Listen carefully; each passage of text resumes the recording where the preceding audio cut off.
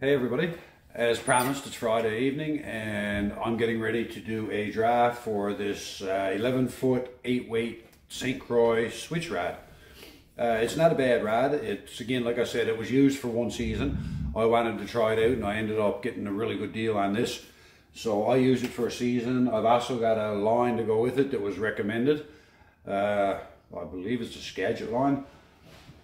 But uh, so it's a lightly used rod, but for anybody who wants to get into two-hand casting and give it a shot, this is going to be a great way for you to try it and see if you like it without spending a lot of money.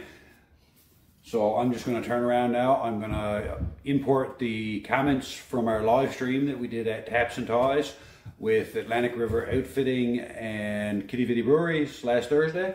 So we've got a bunch of comments there on the video from people who subscribed to our channel and checked out the video or were in the shop last Thursday. So uh, I'm going to import those now and then I'll hit the generator. I'll zoom in so you guys can see the draw. So I'm going to move this over onto the bigger screen so it's a little easier to see. I'm going to lay this rod down. So we have a total of 31 comments and I've imported them into, it's called Comment Picker. It's a free software.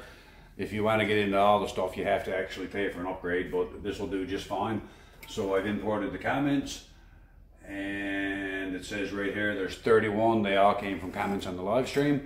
And I am going to zoom in on this screen here now. Behind me. And I am going to comment picker somewhere here. It says hit start select raffle and pick winner.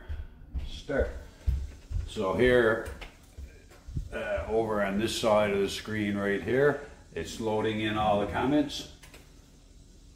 It's going. We have Brandon Farrell 1609 Congratulations, Brandon. Uh, reach out to me, and uh, if you want to reach out, my email is in the link there.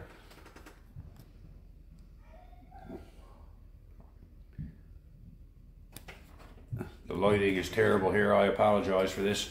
Uh, Brandon Farrell, 1609. Uh, I'm going to have a look back there and see if he actually attended the uh, in-shop session there, and I can probably make contact with him that way. But if not, he can reach out to me through uh, Messenger on Facebook or uh, my email is in my bio link here. But uh, we'll manage to hook up there sometime. Congratulations, Brandon.